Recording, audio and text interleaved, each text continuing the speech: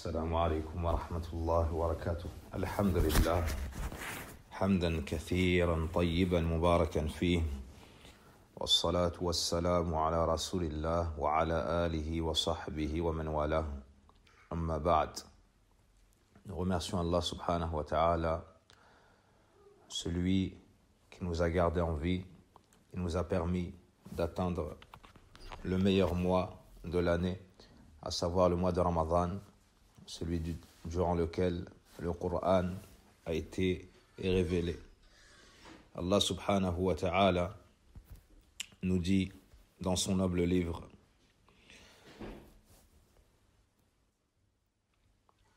يا أيها الذين آمنوا كتب عليكم الصيام كما كتب على الذين من قبلكم لعلكم تتقون أياما معدودات فمن كان منكم مريضا أو على سفر فعدة من أيام أخر وعلى الذين يطيقونه فدية طعام مسكين فمن تطوع خيرا فهو خير له وأن تصوموا خير لكم إن كنتم تعلمون. شهر, رم شهر رمضان الذي أنزل فيه القرآن هدى للناس وبينات من الهدى والفرقان.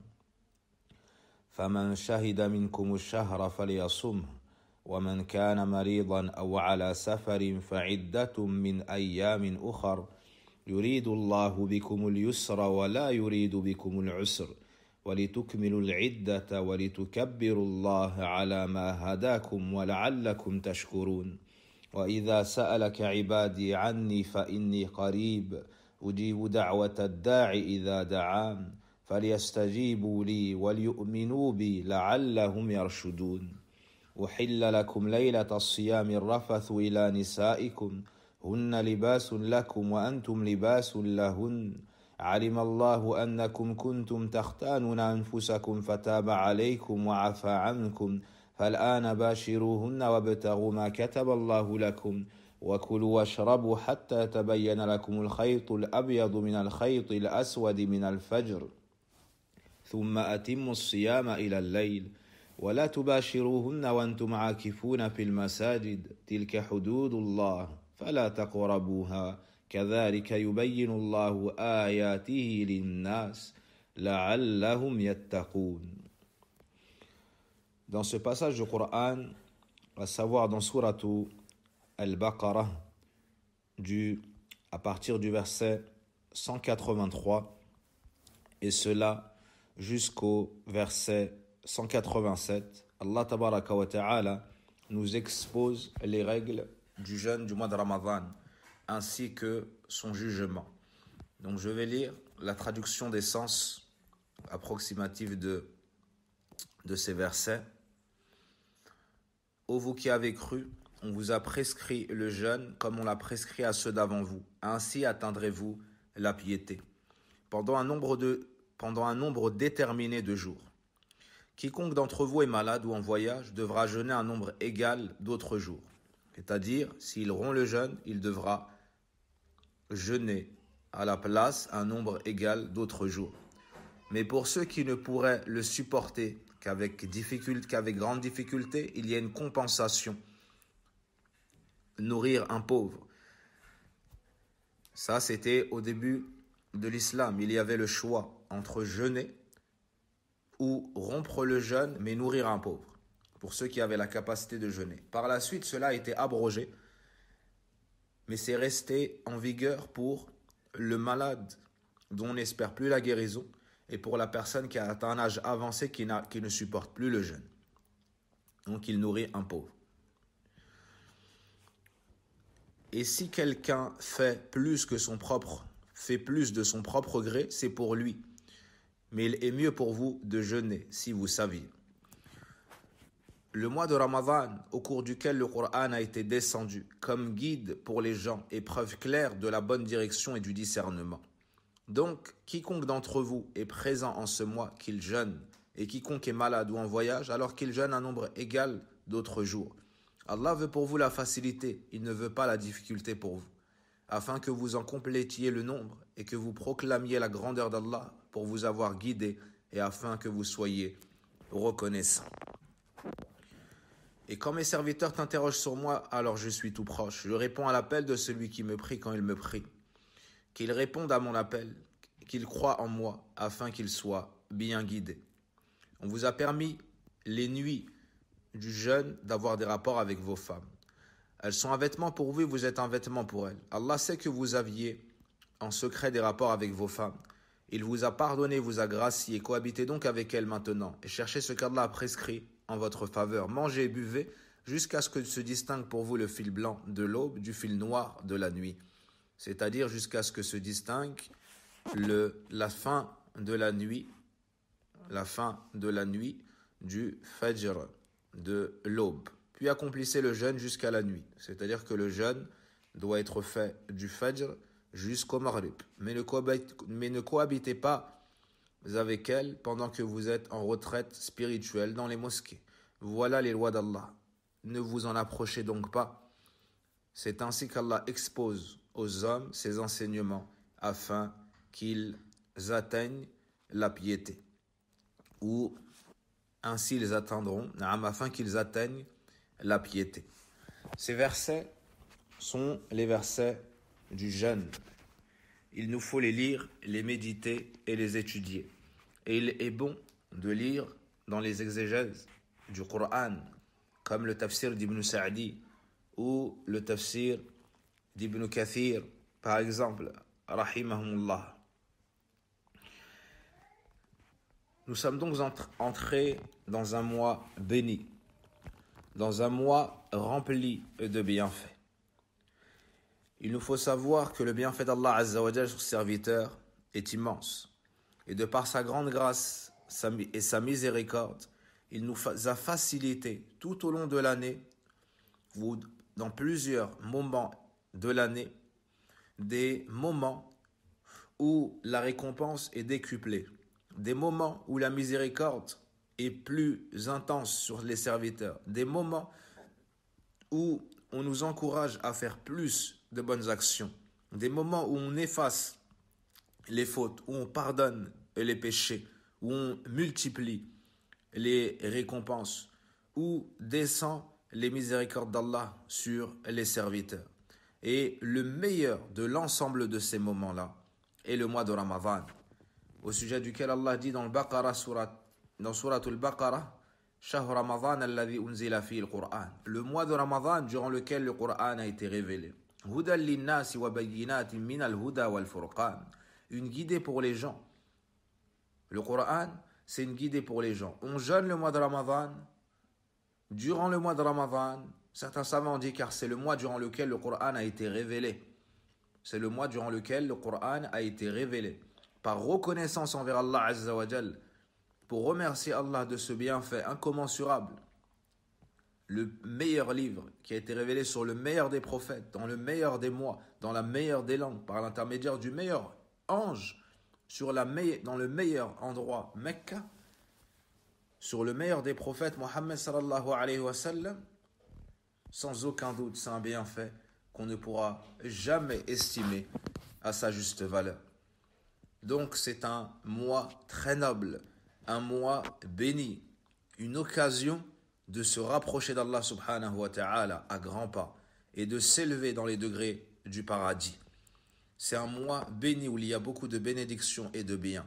C'est le mois du jeûne. Allah Azza nous a légiféré et ordonné le, le jeûne de ce mois-là et on a fait un pilier de l'islam. Abdullah ibn Umar radiallahu anhuma nous dit l'islam ala khams. L'islam repose sur cinq. شهادة أن لا إله إلا الله وأن محمدا رسول الله وإقام الصلاة وإيتاء الزكاة وحج البيت وصوم رمضان L'imam al-Bukhari, l'imam muslim nous rapporte ce hadith. Le messager d'Allah sallallahu alayhi wa sallam nous dit l'islam repose sur cinq. Attester qu'il n'y a point de divinité réellement digne d'être adoré si ce n'est Allah et que Mohammed est le messager d'Allah. C'est-à-dire adorer Allah seul sans jamais rien lui associer, sans faire de shirk. Reconnaître que seul Allah mérite l'adoration et tout ce qui est adoré en dehors d'Allah est vain et adoré vainement et injustement. Car Allah est la vérité, le seul maître, le seul créateur. Et tout ce qu'ils adorent en dehors de lui est le faux et créature. On doit reconnaître que Mohammed est le messager d'Allah. C'est un serviteur, on ne l'adore pas, mais c'est le messager d'Allah, on ne le dément pas. On le suit, on lui obéit. Et on adore Allah qu'à la manière dont il nous l'a enseigné. Le deuxième pilier de l'islam est l'accomplissement de la prière. l'accomplissement de la prière. Il n'y a pas de jeûne pour celui qui ne prie pas. Il n'y a pas d'islam sans prière. C'est un pilier. Ça maintient, ça maintient l'édifice. Ça maintient l'édifice. Le prophète nous dit que la limite entre nous et eux, c'est la prière. Celui qui la délaisse sera mécru. Celui qui la délaisse aura certes mécru. Donc, il faut préserver cette prière. Il faut l'accomplir comme il le faut. Celui qui ne sait pas prier, il se rapproche de gens ayant la connaissance et demande avec humilité, apprends-moi la prière. Je veux adorer mon Seigneur, je veux rentrer au paradis, je veux être sauvé de l'enfer. Apprends-moi la prière. S'il ne commence pas la prière dans le mois de Ramadan, quand est-ce qu'il va commencer?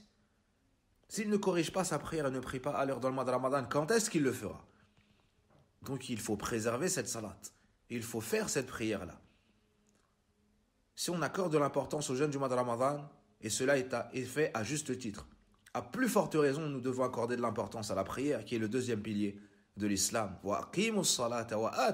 Et accomplissez la prière, et acquittez-vous de la zakat comme Allah nous l'ordonne dans le Coran. Il y a le jeûne du mois de Ramadan. C'est donc un pilier de l'islam, et par la suite le pèlerinage à la maison sacrée. Donc on doit accorder la plus haute importance à ce mois. On doit le jeûner. C'est le mois de la révélation du Coran, c'est le mois de la lecture du Coran. C'est le mois de la générosité, c'est le mois du pardon, de l'expiation des péchés. Donc c'est un mois où on doit beaucoup se repentir et demander pardon à Allah subhanahu wa ta'ala. C'est le mois de la bienfaisance, il faut faire beaucoup de sadaqat, s'enquérir de la situation des, des pauvres parmi nous, des gens dans le besoin parmi nous, afin de les aider autant que possible. Ainsi, ce mois sera un mois béni pour l'ensemble, pour les riches comme pour les pauvres. Et le prophète a annoncé la bonne nouvelle de l'entrée du mois de Ramadan à ses compagnons, afin qu'ils se réjouissent et qu'ils ne rendent pas ce mois, qu'ils ne fassent pas de ce mois un mois banal, et qu'ils n'agissent pas dans ce mois comme ils le font dans les autres mois. Non, le prophète a immensifiait ce mois et leur montrait la grande valeur de ce mois, le caractère béni de ce mois, de la première nuit hier au Maghrib jusqu'au dernier jour, jusqu'au dernier jour, le 29e ou le 30e, selon la vision de la lune. Donc on doit accorder la plus, grande importance à ce mois. Et ça, c'est une des clés de la réussite du jeûne du mois de Ramadan. C'est immensifier ce mois. Reconnaître qu'il est particulier, qu'il est rempli de bénédictions. Donc il ne faut rien rater de ce mois. Le prophète wassalam, leur annonçait la bonne nouvelle. Et il redoublait d'efforts dans l'adoration et eux-mêmes le faisaient également et il les encourageait dans cela. Il préservait les obligations puis ajoutait des actions recommandées dans la prière, dans les sadaqat, dans la bienfaisance, dans l'endurance, dans le fait de remplir le temps du jeûne par la lecture du Coran, l'invocation d'Allah et le dhikr, et remplissait les nuits de Ramadan par la prière, par la demande de pardon. Donc, il remplissait ce temps-là par les bonnes actions, par le remerciement d'Allah, la reconnaissance, par le fait de dire Subhanallah, walhamdulillah, wa la ilaha illallah, wallahu akbar, quatre paroles préférées d'Allah. Le soleil ne s'est pas levé sur meilleure parole que cela. Il n'y a pas plus aimé chez le prophète sallam que ces quatre paroles-là. Et la lecture du Coran, la meilleure parole. Pour chaque lettre, tu as dit récompense. Chaque lettre, tu as dit récompense et Allah multiplie et accorde. Et c'est le détenteur de l'énorme grâce.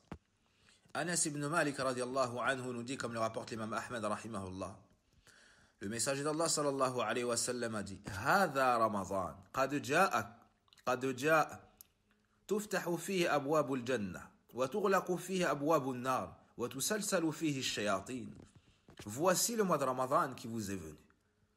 Durant celui-ci, les portes du paradis sont ouvertes, les portes de l'enfer fermées et les démons enchaînés. Abu Huraira nous rapporte que le prophète sallam a également dit, comme l'ont rapporté le Tirmidhi ibn Majah, إذا كان أول ليلة من شهر رمضان صفدت الشياطين ومردت الجن أو الجن وغلقت أبواب النار فلم يفتح منها باب وفتحت أبواب الجنة فلم يغلق منها باب وينادي مناد يا باغي الخير أقبل ويا باغي الشر أقصر ولله عتقاء من النار وذلك كل ليلة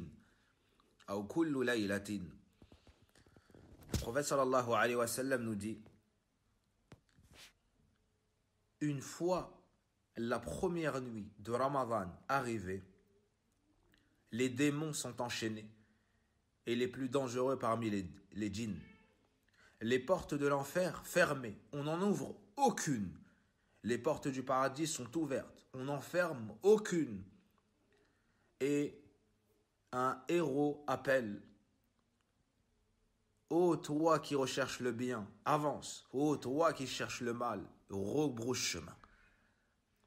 Et Allah a, chaque nuit du mois de Ramadan, des affranchis de l'enfer. Des affranchis de l'enfer. Allah Akbar, lorsque tu entends ce hadith, le mois de Ramadan entièrement est béni. Ça n'est pas que les dix dernières nuits.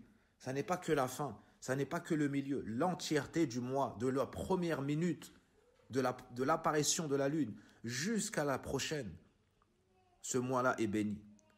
La première nuit, dès la première nuit, c'est-à-dire hier au Maghrib. Certains, par exemple, ont fait leur programme à partir du Fajr. Ceci est une excellente chose. Mais le, le mieux, c'est de le faire à partir du Maghrib. Hier, c'était le mieux de le faire à partir du Maghrib. Hier. Concernant ce mois. Donc, les shéatines sont enchaînés. Ainsi, ils n'arrivent pas à nous faire ce qu'ils, à nous faire faire ce qu'ils nous faisaient faire en dehors du mois de Ramadan. Ils ont moins d'emprise, ils ont moins de capacité, de facilité à égarer le fils de Adam. Les portes de l'enfer sont fermées parce qu'il y a peu de péchés, parce que les croyants sont dirigés vers l'adoration d'Allah. Ils recherchent sa bénédiction, car les croyants reviennent à Allah, se repentent, délaissent les péchés, cherchent à se réformer. Et les portes du paradis sont ouvertes pour nous encourager, parce que c'est le moment de la miséricorde d'Allah, parce que c'est le moment où les croyants font beaucoup de bonnes actions. Et on appelle, ô toi qui fais le bien, avance, ô toi qui fais le mal, rebrouche chemin. Ainsi les gens se diviseront en deux dans le mois de Ramadan. Celui qui recherche le bien, l'agrément d'Allah, son pardon, l'acceptation de ses actes, et dans l'au-delà, le paradis et son agrément. Et celui qui recherche le mal, qui n'a que faire que soit Ramadan ou autre, il reste dans ses passions et ses péchés. Il ne cherche pas à se réformer. Donc il nous faut considérer le mois de Ramadan. Il nous faut faire des efforts durant le mois de Ramadan. Le prophète wassalam, a décrit le mois de Ramadan comme étant béni. Dans le recueil de l'imam Ahmed Abu Hurayrata anhu nous dit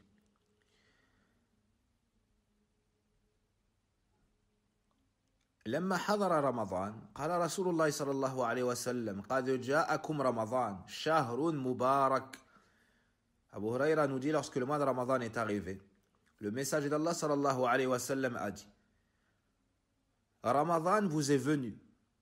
C'est un mois béni. C'est un mois béni. Iftarad Allahu alaykum siyamahu. Allah vous a rendu obligatoire son jeûne. Durant celui-ci, les portes du paradis sont ouvertes. Et durant celui-ci, les portes de la fournaise sont fermées. Et les démons sont enchaînés.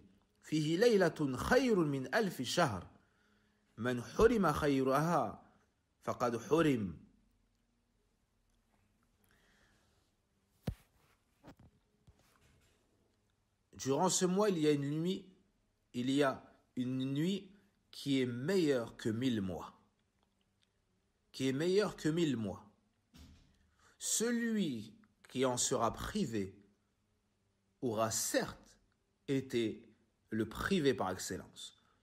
Celui qui ratera Laylatul Qadr, celui qui n'agira pas durant Laylatul Qadr, voici celui qui aura réellement perdu.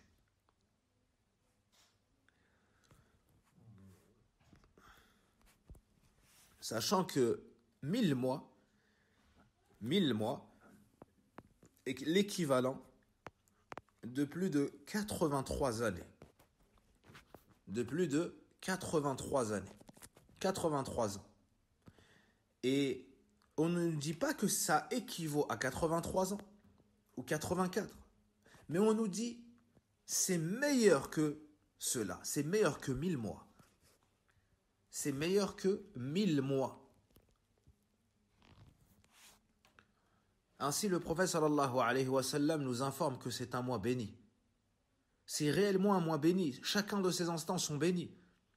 Son début est béni, son milieu est béni, sa fin est bénie. Ses journées sont bénies. Ses nuits sont bénies. C'est béni de par la grâce qu'Allah y a mis. C'est béni du fait, qu'Allah a révélé le mois de, euh, Coran durant durant ce mois, c'est béni de par la multitude de récompenses qu'Allah accorde, la multitude de bénédictions qu'Allah accorde. C'est béni par rapport aux actions des croyants dans celui-ci. C'est béni parce qu'il y a la nuit de Laylatul Qadr, la nuit de la grande valeur ou de la destinée, qui est meilleure que mille mois. C'est béni parce que les démons sont enchaînés, les portes du paradis ouvertes, les portes de l'enfer fermées. C'est béni parce que les musulmans se réunissent, s'unissent et ça, c'est un but recherché dans l'islam. Il y a l'union des musulmans sur l'adoration d'Allah subhanahu wa ta'ala. C'est béni parce qu'Allah a franchi des gens de l'enfer. Et pour beaucoup d'autres bienfaits encore. De grands mérites sont venus et particulièrement pour deux grandes actions. La première, c'est le jeûne. La deuxième, la prière de nuit on doit se concentrer principalement sur ces deux actions. Le jeûne du mois de Ramadan et la prière de nuit dans le mois de Ramadan. Abu Huraira nous rapporte, nous dit, comme c'est rapporté dans le recueil d'Imam Bukhari, l'imam muslim. قال رسول الله صلى الله عليه وسلم من صام رمضان إيمانا واحتسابا غفر له ما تقدم من ذنبه ومن قام ليلة القدر إيمانا واحتسابا غفر له ما تقدم من ذنبه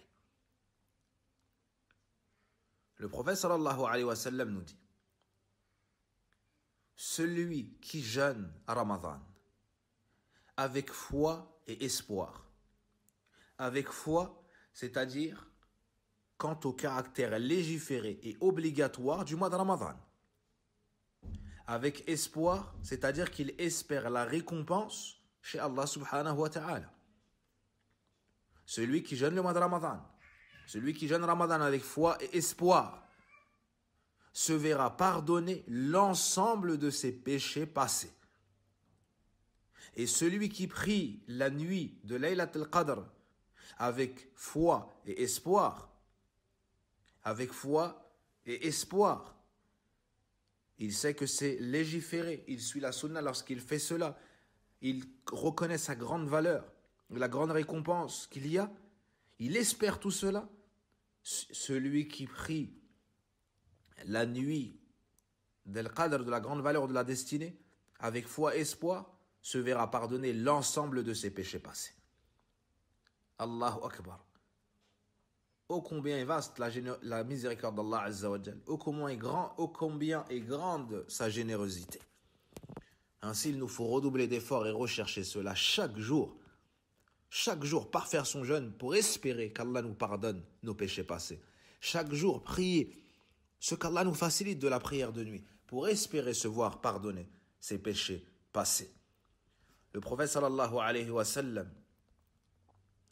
nous dit également, toujours dans le recueil de l'imam al-Bukhari et de l'imam Muslim, من قام رمضان إيمانا واحتسابا غفر له ما تقدم من ذنبه celui qui prie les, la nuit de Ramadan avec foi et espoir se verra pardonner l'ensemble de ses péchés passés. Que dire alors si le serviteur ajoute à cela un repentir sincère de tous ses péchés? Sans aucun doute, Allah lui effacera tous ses péchés, ses grands péchés et ses petits péchés. Ses grands péchés et ses petits péchés. Que dire alors s'il cherche toute personne qu'il a pu opprimer et s'excuse auprès d'elle? Sans aucun doute, il arrivera le jour dernier et il n'aura pas de dette, pas d'injustice. Il aura une noble station près d'Allah subhanahu wa ta'ala. Et certes, fait partie de la grande perte. Et certes, fait partie du, yani de l'égarement que de se priver de tous ces bienfaits qu'on a entendues et bien d'autres encore à venir, Inch'Allah ta'ala.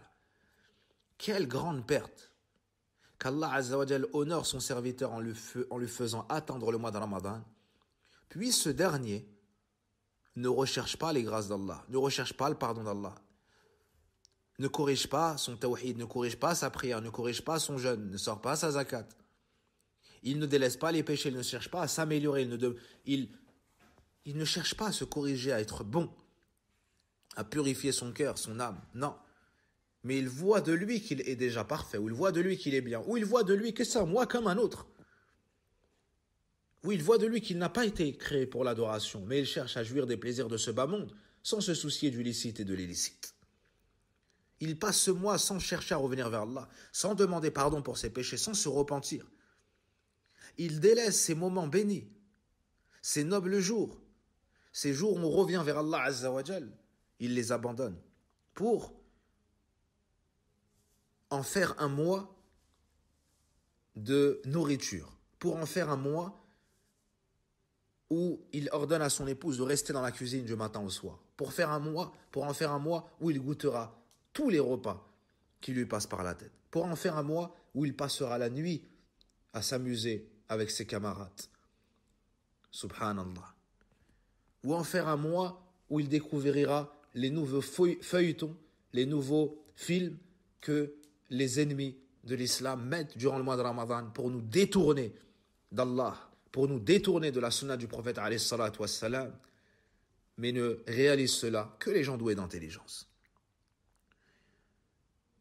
Ne sois pas de ceux qui vont être privés dans le mois de Ramadan, qui ne vont pas revenir à Allah dans le mois de Ramadan. C'est une occasion bénie, une occasion, et je n'ose même pas dire en or, car ça, ça serait réduire le niveau de cette occasion de reprendre notre lien avec Allah Azzawajal.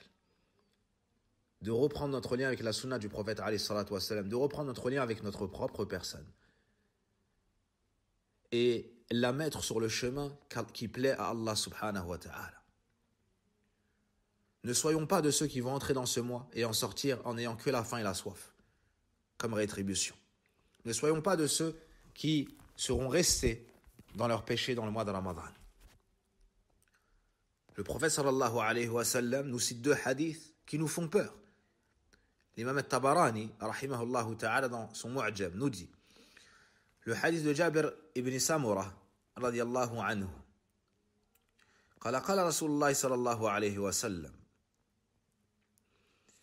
أتاني جبريل وعليه السلام le prophète صلى الله عليه وسلم nous dit ou le message d'Allah صلى الله عليه وسلم dit جبريل m'est venu فقال يا محمد il m'a dit au Muhammad من أدرك أحد والديه فمات فدخل النار فأبعده الله quiconque aura atteint l'un de ses deux parents puis meurt et par la suite entre au paradis, qu'Allah l'éloigne.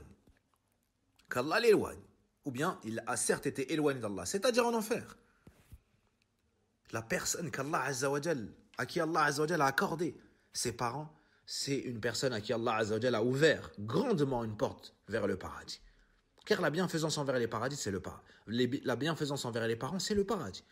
Et si il te reste un de tes parents ben sache que c'est comme si tu avais deux portes ouvertes vers le paradis et qu'on t'en a fermé une, on t'en a laissé une. On t'en a laissé une. Subhanallah. C'est une occasion pour entrer au paradis. Tu t'occupes de tes parents. Tu es bienfaisant envers tes parents. Tu dépenses pour tes parents. Tu es doux et affectueux envers tes parents. Tu embrasses tes parents. Tu te mets au service de tes parents. Tu es humble devant tes parents. Tu leur achètes ce qu'ils aiment. Tu dépenses pour eux. Tu masses les pieds de tes parents. Tu essayes de faire ce qui amène l'agrément de tes parents. Tu aimes tes parents. Tu, tu, tu t'enquéris des, de leurs besoins. Leur, tu prends des informations, tu prends des nouvelles de tes parents. Si malgré la présence de cette grande porte ouverte vers le paradis, la personne finit en enfer, Allah l'éloigne en Allah l'a éloigné. Allah l'a éloigné. Dis Amin, qul Amin, faqultu Amin. Jibril alayhi salam, le meilleur des anges, dit au meilleur des prophètes, dis Amin. Le prophète a dit Amin. قال يا محمد من أدرك شهر رمضان فمات فلم يغفر له فأدخل النار فأبعده الله ô Mohammed, quiconque aura atteint le mois de Ramadan, puis sera mort sans qu'Allah lui pardonne ou sans avoir été pardonné, puis entre en enfer, Allah l'a certes éloigné. Le mois de Ramadan, c'est une occasion pour se voir pardonner ses péchés, une occasion pour entrer au paradis. Les portes de l'enfer sont fermées, les portes du paradis ouvertes. On nous appelle au bien. Il y a des affranchis de l'enfer chaque jour ou chaque nuit. Et lui, il, finit malgré tout en enfer. Allah l'a éloigné. Allah l'a éloigné. Voici le privé. Voici le perdant. Voici le ruiné. Dis Amin. Fakultu Amin. Le prophète a dit Amin. Qu'il en soit ainsi. Amin, ça veut dire, ou Allah exauce cela. Fasse qu'il en soit ainsi. قال ومن ذكرت عنده فلم يصلي عليك فمن ذكرت قال ومن ذكرت عنده فلم يصلي عليك فمات فدخل النار فأبعده الله قل آمين فقلت آمين La troisième chose, lorsque tu seras mentionné auprès d'une personne et qu'il ne priera pas sur toi, il ne dira pas Allahumma salli Muhammad sallallahu alayhi wa sallam, il ne dira pas sallallahu alayhi wa sallam, puis mourra, entrera en enfer, que euh, Allah l'aura éloigné. Dit Amin, j'ai dit Amin. Donc, celui qui est le grand perdant de cette course, de cette course à l'agrément d'Allah, au pardon d'Allah, au paradis d'Allah, à la grande récompense, c'est celui qui aura atteint le mois de Ramadan et qui n'aura pas réussi à être pardonné. Dans le recueil d'Imam Tirmidhi, le prophète sallam nous dit, comme Abu Huraira nous dit, رغم أنف رجل ذكرت عنده فلم يصلي علي ورغم أنف رجل دخل عليه رمضان ثم انسلخ قبل أن يغفر له ورغم أنف رجل أدرك عنده أبواه الكبر فلم يدخلاه الجنة Que le nez de la personne soit traîné dans la poussière. Qui est-il Celui auprès duquel j'aurais été mentionné qui ne priera pas sur moi. Sallallahu alayhi wa sallam qu'il soit mis dans la poussière, celui, dont, celui qui aura atteint le mois de Ramadan. Puis ce dernier sera sorti sans qu'il se soit vu pardonner ses péchés. Le mois de Ramadan arrive, le mois de Ramadan sort et lui ne s'est pas vu pardonner ses péchés. Que son nez soit dans la poussière. Et que le nez de, celui qui a atteint ses parents en âge avancé, puis n'entrera pas au paradis, qu'il soit également dans la poussière. Tout cela nous montre quoi, chers frères? Que le mois de Ramadan, il ne s'agit pas de s'abstenir de boire et de manger, mais il faut œuvrer. Il faut œuvrer. Il faut se repentir. Il faut agir. Il faut faire des aumônes.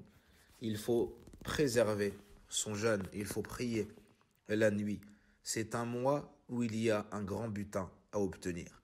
C'est un mois où il faut faire des efforts. Les pieux prédécesseurs se faisaient un programme dans le mois de Ramadan. Ils ne faisaient pas du mois de Ramadan comme ils faisaient les autres mois. Il ne considérait pas le mois de Ramadan comme il considérait les autres mois.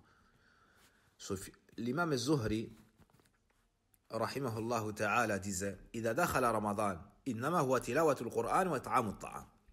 Voici son programme. L'imam Zuhri, rahimahullah, se faisait un programme. Il disait lorsque le mois de Ramadan entre, ça n'est que la lecture du Coran et le fait de nourrir des pauvres ou nourrir des gens. Voici un programme. Voici un programme des efforts dans l'adoration d'Allah Azza wa Le jeûne et les prières de nuit. Il ajoute à cela ici la lecture du Coran et le fait de faire des sadaqat. Le fait de faire des, des sadaqat. On doit se réjouir de ce mois. On doit considérer ce mois. C'est la clé de la réussite. C'est le mois du Coran. C'est le mois du jeûne. Allah subhanahu wa ta'ala nous dit dans le Coran, dans Surat Yunus, le verset 58. قل بفضل الله وبرحمته فبذلك فليفرحوا هو خير مما يجمعون Dis par la grâce d'Allah et sa miséricorde, de cela qu'ils se réjouissent, c'est bien meilleur que tout ce qu'ils peuvent amasser. C'est-à-dire, de par cet islam, de par cette guide à l'islam, de par la révélation du Coran, de cela qu'ils se réjouissent, c'est bien meilleur que tout ce qu'ils peuvent amasser comme richesse mondaine. Donc on se réjouit du mois de Ramadan, de l'entrée du mois de Ramadan. on remercie Allah Azzawajal pour le mois de Ramadan. On remercie Allah Azzawajal pour ce mois de bénédiction, pour ce mois durant lequel les portes du paradis sont ouvertes, celles de l'enfer fermées. Il faut réellement considérer ce mois et remercier Allah subhanahu wa ta'ala pour, pour ses nombreux bienfaits. Pour ses nombreux bienfaits. Et les compagnons, et les compagnons, euh, Mada conseillaient la communauté Il disait à la communauté de ne pas faire du mois de Ramadan ce qu'ils faisaient des autres mois. Il a été mentionné que Jabir radiallahu anhu dit, disait إذا صمت فليصم سمعك وبصرك ولسانك عن الكذب والمأثام أو والمآثم ودع أذى الخادم وليكن عليك وقار وسكينة يوم صيامك ولا تعجل يوم فطرك. ويوم ولا تجعل عفوا ولا تجعل يوم فطرك ويوم صيامك سواء. ذكره ابن أبي الشيبة في المصنف.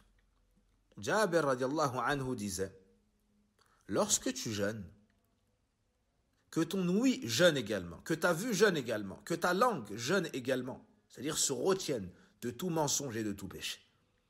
Et délaisse et, et n'importune pas le servant. Et sois bien envers les gens, même ceux qui sont sous ton autorité. Et qu'on voit de toi la quiétude, qu'on voit de toi la quiétude et la sérénité lorsque tu es dans un jour de jeûne. Et ne fais pas des jours où tu ne jeûnes pas et ne rends pas les jours où tu ne jeûnes pas semblables aux jours dans lesquels tu jeûnes.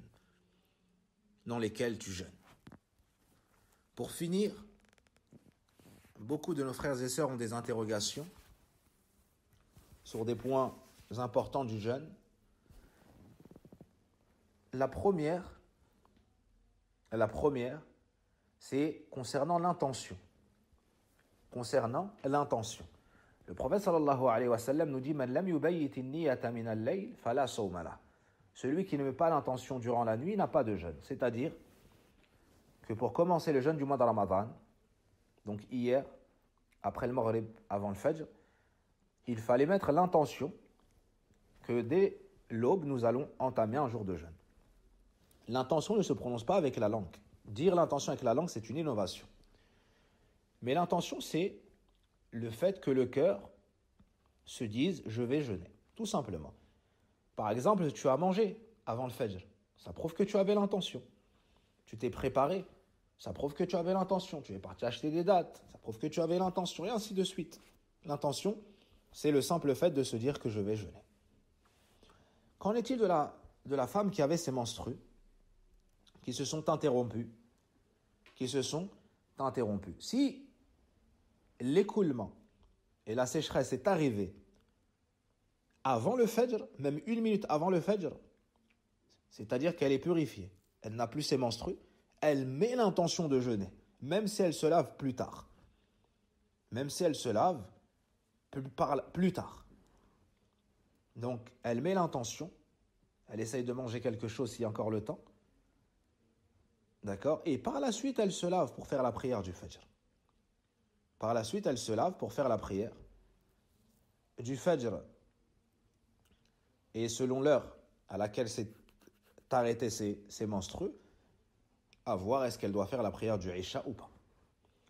Donc, la femme qui peut entamer ce jour de jeûne n'est que la femme qui a eu l'interruption de ses menstrues ou de ses lochis avant le Fajr, même si c'est une minute avant le Fajr. Quant à celle qui aura l'interruption après le Fajr, comme il a été dit, celui qui avait la permission de faire des choses au début de la journée a la permission de les faire jusqu'au soir. Donc si elle est purifiée dans la journée, elle n'est pas en jour de jeûne pour elle, donc elle poursuit sa journée comme elle l'a commencé, si ce n'est qu'elle va se laver et prier, si ce n'est qu'elle va se laver et prier, et elle devra rattraper ce jour de jeûne. Elle devra rattraper ce jour de jeûne. Elle aura un an avant le ramadan de l'année suivante pour le faire, sauf si elle a une excuse qui l'empêche de faire cela, comme la maladie, l'allaitement, la grossesse, alors elle le rattrapera quand elle le pourra. Elle n'a pas à nourrir de pauvres. Elle n'a pas à nourrir de pauvres. Concernant la femme enceinte et la femme qui allait, certaines veulent jeûner. Est-ce qu'elles peuvent jeûner? Oui, elles peuvent jeûner, c'est une bonne chose. Mais si elles n'arrivent pas à jeûner, c'est trop difficile pour elles, ou si ça diminue euh, l'arrivée de lait et elle n'a pas assez de lait pour euh, nourrir son enfant, ou si ça lui est trop difficile, et ainsi de suite. Donc si ça lui est difficile de manière générale, ça lui nuit à sa personne, à elle ou à l'enfant, alors elle ne jeûne pas. Alors elle ne jeûne pas. Qu'elle soit enceinte ou bien qu'elle allaite, ou les deux, elle ne jeûne pas. Et à la place, à la place, si elle le souhaite, elle pourra rattraper ses jours. Et dans le cas contraire, elle pourra se contenter de nourrir un pauvre par jour non jeûné. Elle pourra se contenter de nourrir un pauvre par jour non jeûné, comme le disait Abdullah ibn Abbas. Ainsi, elle rompt le jeûne et à la place, elle nourrit un pauvre par jour non jeûné, sans le rattraper. Ça, c'est ce que disait Abdullah ibn Abbas, et parmi les contemporains, c'est l'avis de Shir al-Albani, rahimahullahu ta'ala. Et c'est un des avis qui est le plus fort, si ce n'est le plus fort, du fait que c'est la parole d'un compagnon.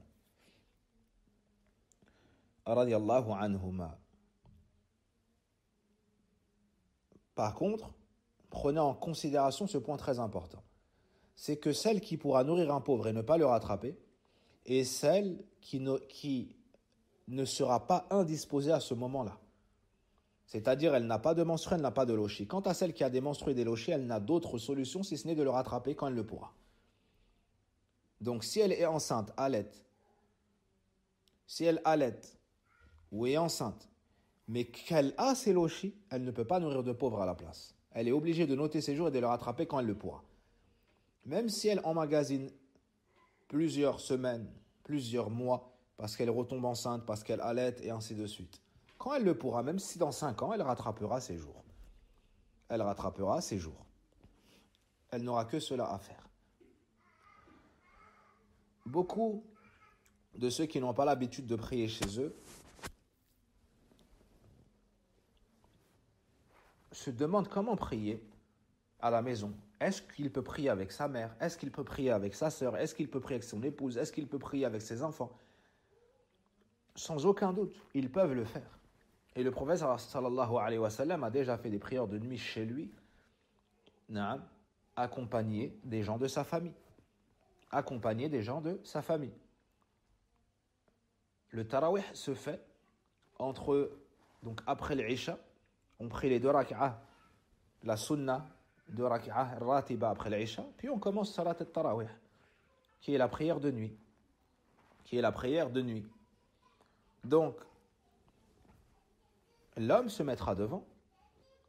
Celui qui dirige la prière se mettra devant. Ensuite, les garçons, se mettront derrière lui. Ensuite, les femmes se mettront derrière les garçons. Se mettront derrière les garçons. S'il prie que avec son épouse, il se met devant, elle se met derrière. S'il prie que avec son fils ou son frère ou son père, celui qui dirige se met à gauche et celui et l'autre se met à sa droite. Il ne se met pas un peu derrière lui, non, il se met à côté de lui, sur la même ligne. Et s'il n'y a que des femmes, alors elle, elle prie, si ce n'est que la femme ne se met pas devant comme l'imam, elle se met au milieu ou sur le côté. Au milieu ou sur le côté. Et si la mère prie avec l'enfant et que l'enfant ne sait pas diriger la prière, ne connaît pas encore la Fatiha, et ainsi de suite. Alors il se met à côté d'elle et c'est elle qui dirige la prière. Alors c'est elle qui dirige la prière. Qu'est-ce qu'il faut réciter pour Salat et Tarawih comme ce que vous récitez de manière habituelle. C'est-à-dire, on dit Allahu Akbar, A'udhu billahi rajim, dua al-istiftah si on connaît, puis Al-Fatiha, puis ce qu'Allah nous facilite du Coran. On peut faire Salat Tarawih juste avec Qul Wallahu Ahad. On peut rajouter, on récite ce qu'on peut. Et celui qui veut prendre le mushaf pour lire le Coran, pour réciter plus longuement, il le peut également. Il le peut également. Mais il devra le poser pour bien faire la prosternation. À ce moment-là, il mettra à côté de sa tête lors de la prosternation, il mettra quelque chose pour poser le mushaf dessus. Bien que ça ne soit pas interdit de le poser au sol avec respect, car le sol est pur. Mais par considération du Coran, de la parole d'Allah on aime à ce qu'il soit surélevé. Donc voici pour la prière de nuit. Est-ce qu'on l'a fait à voix haute? Est-ce qu'on l'a fait à voix, basse au début de la nuit, à la fin de la nuit? Cela est au choix. Mais la sunna, c'est de réciter à voix haute, sans, déranger ceux qui, euh, ceux qui auraient besoin de dormir. Et la sunna, c'est d'encourager la famille, encourager l'épouse, encourager les enfants à prier avec nous. Encourager, encouragez-les. Encouragez-les. Donc voici les, questions qui reviennent le plus souvent. Par la suite, celui qui se réveille en état de janaba et le fajr entre et il ne sait pas encore laver, est-ce que son jeûne est valable? Oui, son jeûne est valable. Son jeûne est valable. Il peut même manger, boire, puis aller se laver pour faire la prière du fajr. Donc s'il se réveille en état de janaba, il n'y a pas de problème. Celui qui va aux toilettes et euh, après avoir uriné, il voit des traces, il voit une sortie, par exemple, de, de sperme. Et il se dit, eh, j'ai annulé mon jeûne. On lui dit non, ça n'est pas cela qui annule. Naam, il n'est pas sorti volontairement, avec plaisir, il n'a pas été recherché, cela n'annule pas le jeûne. Et Inch'Allah ta'ala, dans un prochain cours, on mentionnera les annulatifs du jeûne. On mentionnera les annulatifs du jeûne et on exposera les réponses des savants euh, quant aux questions qui reviennent le plus souvent, comme je l'ai fait euh, ici pour cela. بارك الله فيكم وفقنا الله وإياكم لما يحب ويرضى وصلى اللهم وبارك على نبينا محمد وعلى آله وصحبه أجمعين afin de s'entraider dans le bien, Inch'Allah Ta'ala, tous les soirs à 18h, ou en fin de journée à 18h, il y aura un cours afin qu'on prenne nos provisions pour réussir ce jeûne le jeûne de ce mois, Inch'Allah Ta'ala, tous les soirs à 18h, Inch'Allah Ta'ala. Barakallahu fikum.